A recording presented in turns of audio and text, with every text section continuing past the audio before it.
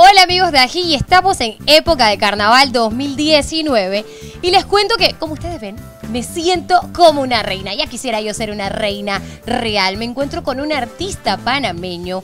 Él, por supuesto, es experto, es diseñador y confecciona trajes de carnaval y mucho más. Vamos a conversar con el artista Cristo Atanasiadis sobre pues un poco de su carrera artística y todo esto que él hace detrás de cámara, porque sabemos siempre que vemos a las reinas, buenos días, bienvenido a la cocina de Ají, vemos siempre a las reinas luciendo este vestido que les cuento, por cierto, no es fácil de lucir, ¿ah?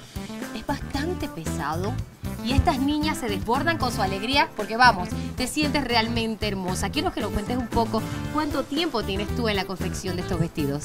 Bueno, tengo aproximadamente más o menos unos 25 años estar trabajando para diferentes zonas del país.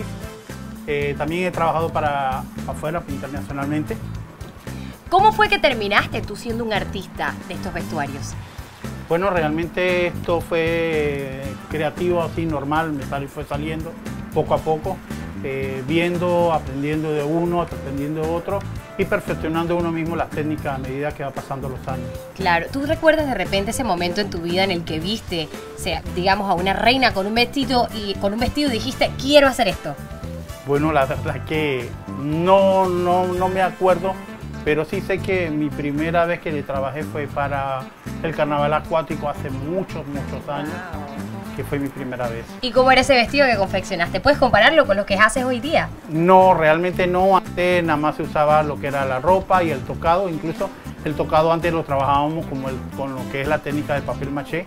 Las situaciones han cambiado, el tiempo ha cambiado. Utilizamos piedra, cristales, rhinestone y tela, unas telas especiales bordadas, telas de lentejuela, así que todo ha cambiado en esta, ahora en últimos años. Claro que sí. Les cuento que apenas ustedes se ponen este vestido, de verdad te trasladas a un mundo de fantasía y te sientes en los aires. Pero como yo mencionaba al inicio, Atanasiadis, estos vestidos pesan. Es increíble la cantidad de tiempo que inviertes tú colocando material por material para llegar a estas grandes creaciones. Por ejemplo, uno como el que tengo yo puesto ahora, que ha sido anteriormente lucido por realeza panameña. ¿Cuánto tiempo te toma a ti confeccionarlo?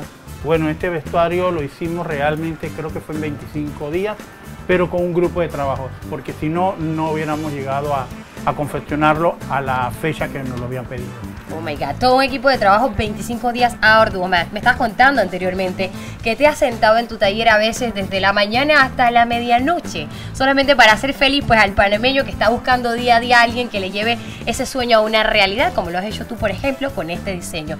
Cuéntame un poquito más o menos sobre, sobre bueno, cuéntame un poquito qué elementos usas tú para como inspiración al momento de crearlos. Llega la gente y te dice, mira, quiero uno inspirado en un pez, tú los creas, ¿cómo se maneja esto?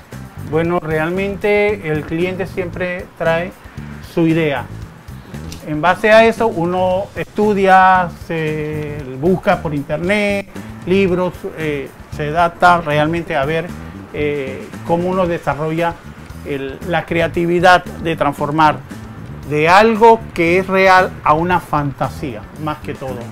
Así es, yo más bien diría de fantasía a realidad, porque wow, esto más real no puede ser. De verdad que respetamos tu trabajo y vamos, que se roban las miradas en el carnaval todas estas reinas y en todos los festivales que hay en Panamá cuando salen ataviadas con este tipo de vestuario. Quiero que me digas un poquito, porque esta es una carrera poco convencional, ¿eh? eh de repente habrán jóvenes que te verán y dirán, wow, me encanta lo que él hace. Y algo que está pasando mucho hoy día es que los jóvenes se dejan como quien dice eh, espantar un poquito porque dicen, bueno, es que ya hay alguien que lo hace, alguien que de repente vea esto que haces tú como un sueño y quiera seguir con este legado para el pueblo panameño. ¿Qué tendrías tú que decirle? Bueno, realmente eh, yo he tenido muchos ayudantes de los cuales se han abierto campo y han trabajado ya, son realmente buenas personas, trabajan muy bien y realmente es un trabajo más que todo de mucho sacrificio y sobre todo mucha responsabilidad que es lo que uno debe tener para hacer este trabajo. Bueno, y te lo digo nuevamente, te admiro muchísimo y qué bonito porque tú eres parte de esos panameños que están aportando a nuestra cultura. Esa mano de obra, señores, que como le decía yo a él anteriormente, es irreemplazable porque jamás vamos a encontrar una máquina que logre hacer esto a la medida de la mujer panameña y el hombre panameño, porque sé que también hay trajes de fantasías para caballeros, pues como lo haces tú. vamos en este momento a dar la despedida, pero me gustaría que tú de repente le dejes un mensaje a esas personas que también sueñan, por ejemplo, como yo, yo quería algún día vestirme de reina y dije, pero es que yo no soy reina. ¿Cómo puede hacer una persona de repente que quiera algún día tener esta experiencia? ¿Puede contactarte a ti en alguna parte de repente? Dame ese datito. Sí, como no, eh, pueden localizarme al teléfono eh, 65099923 o si no, en páginas de internet, Cristo Atanasiadi, ahí estamos a la orden para todo lo que desean alquileres, alquileres y mandar a confeccionar nuevo. Me encanta. Y por ahí vi un montón de confecciones que tenías para niñas también. Este hombre hace de todo. Yo creo que esta no va a ser la última vez que te voy a ver. Yo voy a tener que darme mi ¿Cómo vuelta no? por acá. Muchas gracias por tu tiempo y nuevamente te digo por aportar a esta fantasía del panameño y hacer la fiesta, porque realmente eres tú quien la hace. Bueno, ya ha llegado lamentablemente el momento de despedirme. Muchas gracias por tu tiempo y por aportar a la cultura panameña. Ya lo saben, hemos conversado con el diseñador Cristo Atanasiades. Él es diseñador y confeccionador de trajes de fantasía y carnaval panameño. Volvemos a la cocina de.